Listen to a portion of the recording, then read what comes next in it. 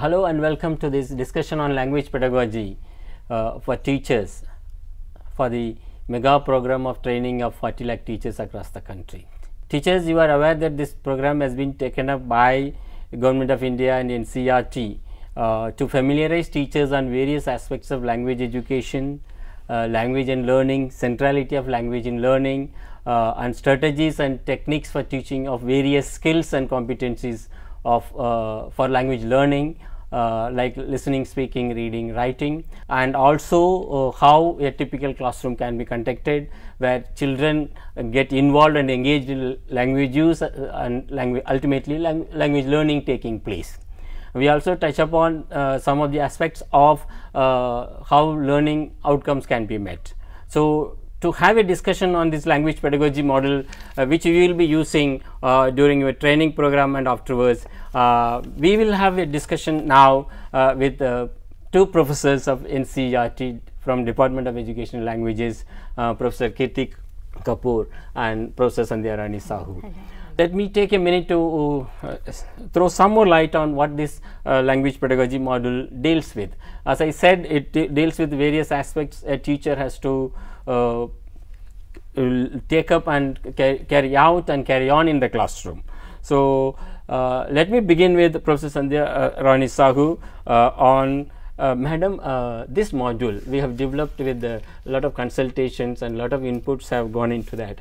So, what do you think how do you think this module addresses the aspects a, a teacher can learn and know about language and learning?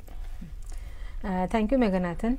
Uh, this module very uh, um, like elaborately and also very minutely talks about uh, language uh, teaching and learning. And as uh, teachers as we all um, teach languages in our own classrooms we all know that languages are very very important for learning of all subjects. Language plays a very important role in construction of knowledge language is for expression for uh, uh, uh, for communication for uh, uh, telling you the idea telling the ideas and telling about our thoughts to people. So language plays a very very vital role uh, in in learning. So how a child will learn a language and as teachers of language how can we facilitate this language learning? First of all, we should all we all know that languages are learned by being exposed to the language exposure is most important. And second thing is that we must create input rich environment uh, for the learners uh, to have an engagement with language. And uh, language learning is meaning making. So, whatever exposure that we are giving to the children, it should be meaningful and in meaningful context. So, uh, like uh, when uh, suppose I am learning my mother tongue, nobody teaches me my mother tongue. So, I am being exposed to the language continuously.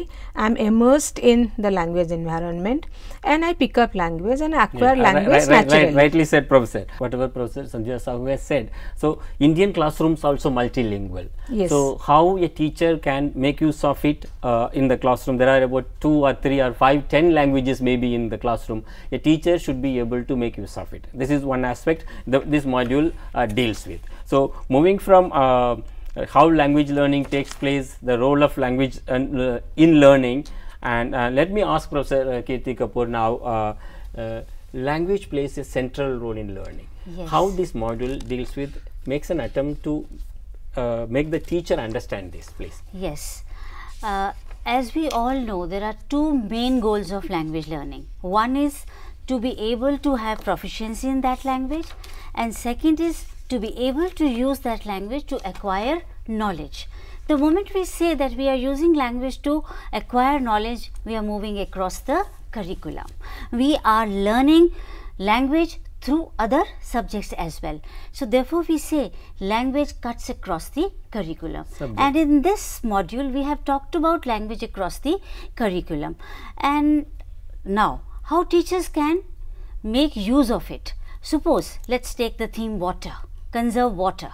Now, language class teacher can take up a story on monsoon, on rains, and then talking about water. Similarly, science teacher can take up the theme water and can talk about how to conserve water, how to save water. So, it cuts across the curriculum. Children through this will learn to use vocabulary in different contexts. It will improve their language skills and they will be able to express themselves. Okay, rightly, rightly said, Professor uh, Kirti. Then let me also uh, say something about how this module deals with teaching a teaching a language as first language and second language and third language. So, Indian context we teach languages as first, second and or third language. For example, uh, in Hindi heartland Hindi may be the first language, English has become common second language and maybe Sanskrit or some other modern Indian language is third language. So, is there a difference between among the teaching of these languages? So, it is a very difficult question to answer because since all the all language teachers are being trained through this uh, uh, language pedagogy model, there must be some sensitivity of understanding towards uh, how uh, a language is dealt with when it is taught as a first language. Both of you have rightly said that we need not teach first language. So, children come with the uh, ideas of vocabulary, words, sound production in the first language. If it's my, my mother tongue is Hindi, I know when I come to school. But in, the, in, in case of English or the third language, it is different. So, we need to really build upon a kind of flexible pedagogy for each of these languages. So, moving from here uh, uh, the module uh, talks a lot about how to deal with uh, language being taught as first, second, third language. So, uh, let me also now request uh, Professor Sandhya Sahu, there is a need to integrate skills when you teach. Though language learning may sometimes take place in kind of not so separated ma manner, when we use language reading, writing, speaking, everything happens together most of the time. So, how a, classroom, typical classroom can integrate language skills? Ma'am. So, uh, whenever we go to a class, we prepare a lesson plan and uh, we also visualize keep uh, the, these four language skills in mind that how through a particular lesson we will be able to develop those four language skills. Because language skills cannot be uh, taught in isolation. Separately. for separately. For example i am speaking i am teaching a speaking today i will teach speaking skills that is not possible.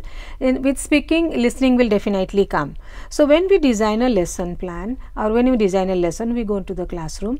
Uh, we uh, try to so for example we have given uh, a lesson here how um, how did Patrick uh, class 6 class 6 yes yes. yeah. how who did Patrick's homework? Mm. there in the beginning we talked about pre-reading pre-reading skills. And in pre-reading uh, we asked the children to talk about to brainstorm and to know what is homework and whether it is uh, right or wrong and whether you like it or not. And then we come to the reading part children they start reading the uh, I mean model reading by the teacher and students read and uh, reading with understanding. And after reading the lesson we talk about again we discuss and we listen we ask questions comprehension questions and then we ask the children to role play because somebody becomes the becomes elf the character here and somebody becomes uh, the uh, the uh, child here Patrick. And then after that we ask them to write whether you like homework, whether you do not like homework, let us have a debate. If it is a debate, that also can be so written also. This, makes so, this makes learning authentic and natural. Exactly. Absolutely. Great. Absolutely. Great, man. So let me let me move on to that. So so let let the message to the teachers uh, is let us have a, a, lesson plan a design for you your own convenient way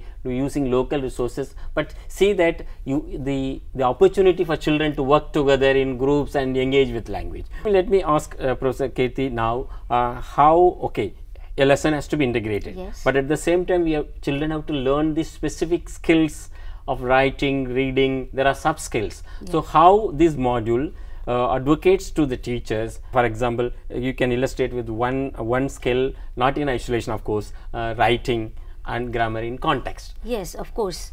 Uh, like as she has rightly said, and you have also pointed out that nothing happens in isolation, and writing per se that skill needs to be developed into a competency all of us have to write something or the other throughout our lives so we cannot really follow the product approach to writing. So we need to follow process approach to writing. So you need to explain what is process approach Yes. and product approach. Yes, of course So let I- teachers understand. it. Of course. So, in first of all, I will talk about process approach to uh, writing, and then, of course, the product will become clear to you. Uh, prior to writing, we can have as teachers you can have a whole class discussion. Where on the topic suppose once again you have uh, taken the topic water conservation let let students come out with their own ideas. Put them on the blackboard. So a lot of ideas have been gathered on the theme that we have decided for today. Now this is a whole class activity. Everybody is speaking everybody is sharing their views their context is coming into the classroom their experiences are coming into the classroom. Ideas also gathered. ideas also gathered. So it is a kind of a uh, you know rich source that is coming into resource that is coming into the classroom. Now next step can be individual writing so every child is asked to write whatever they feel like writing.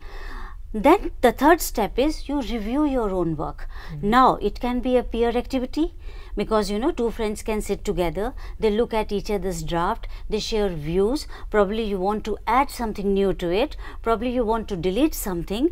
Or probably you want to improve your spellings. Uh, you feel that you have gone wrong somewhere so you open dictionary. So dictionary skills skill also comes in in over here. So you are checking your structures your grammar. And at the same time you are following the rules of writing. That is mechanics of writing. That is how logical uh, logically you know uh, you are you have rendered your uh, paragraph. So there there are every paragraph is starting with a topic sentence. So all these things you look at it with your friend. Finally you do the editing. You edit it whatever you want to remove whatever you want to add you edit it and then comes the last step that is rewriting. Final you final, finally write your draft.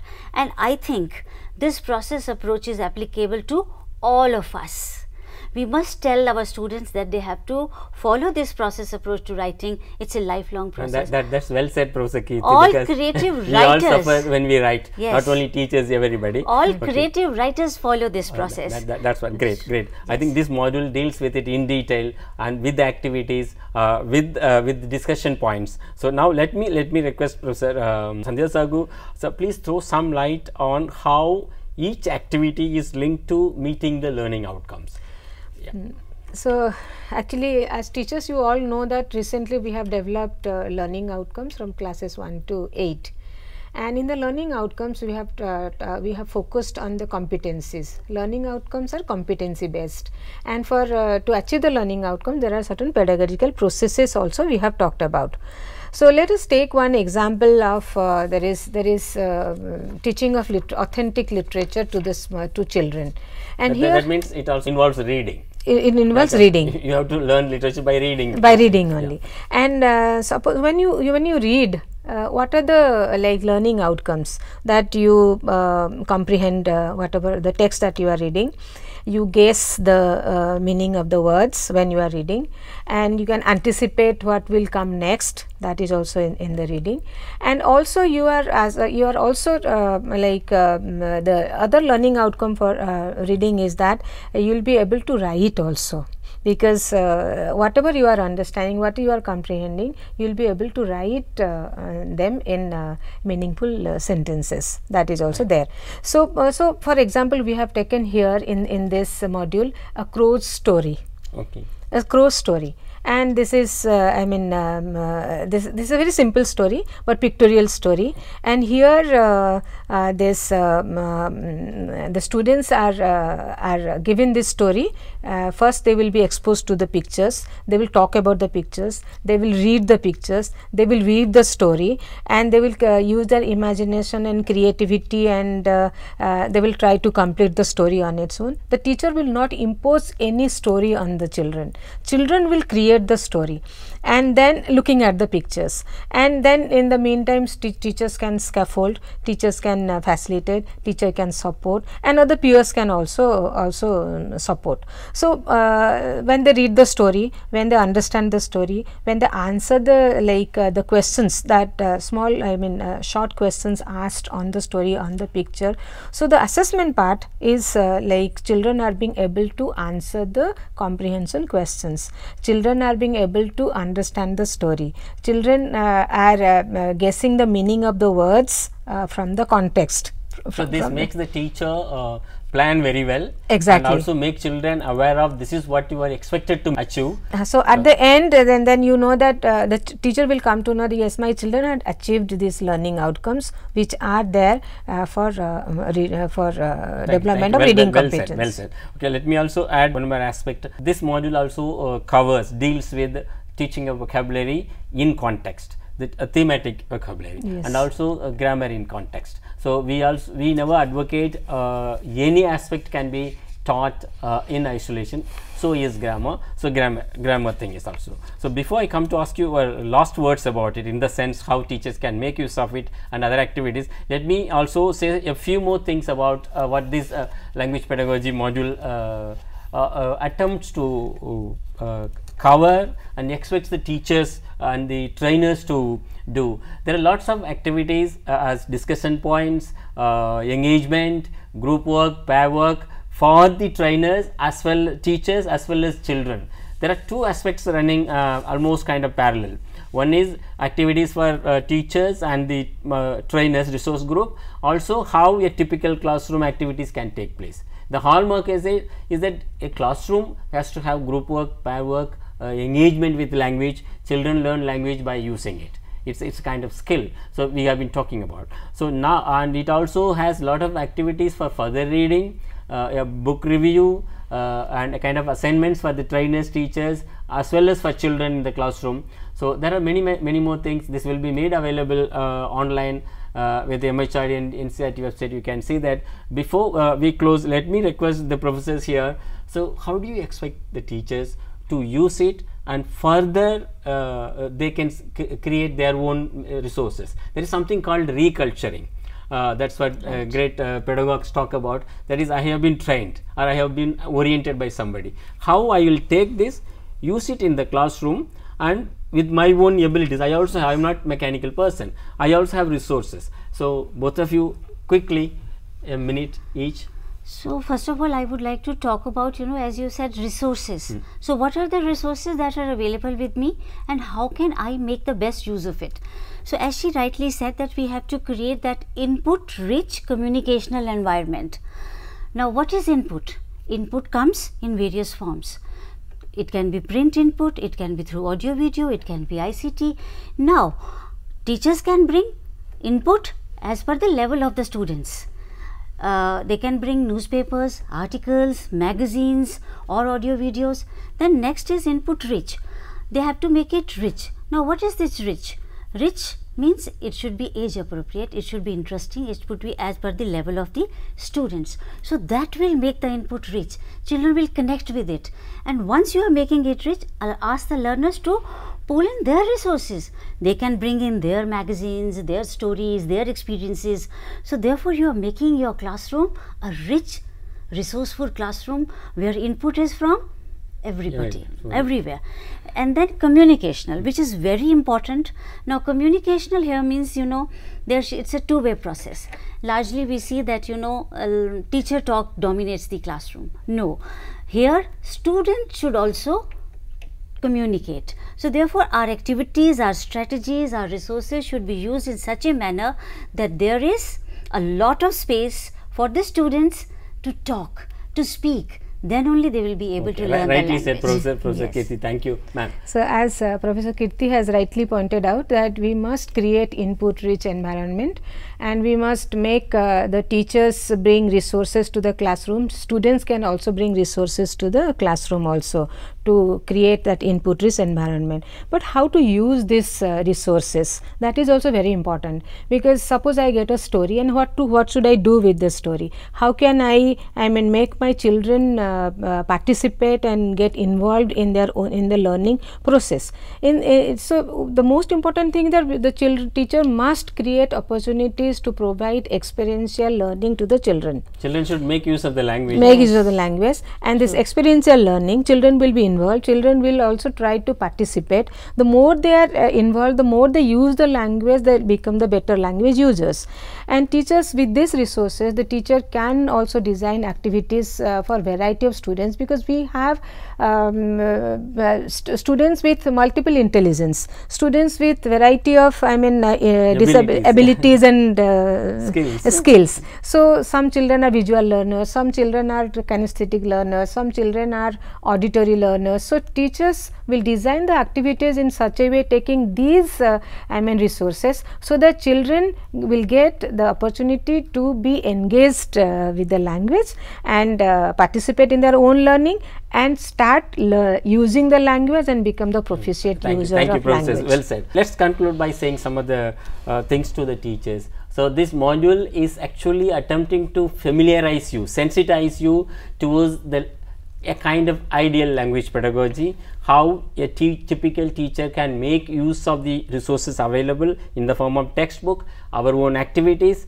and audio video available. There are lots of things available. NCERT website, MHRD website has national uh, uh, repository, of Repository. open educational resources, e-Pathshala, many more things, MOOC, uh, uh, MOOC uh, modules, many more things available. But teachers, uh, just remember, there are two things we would like to uh, put across to you. There is no teaching without learning.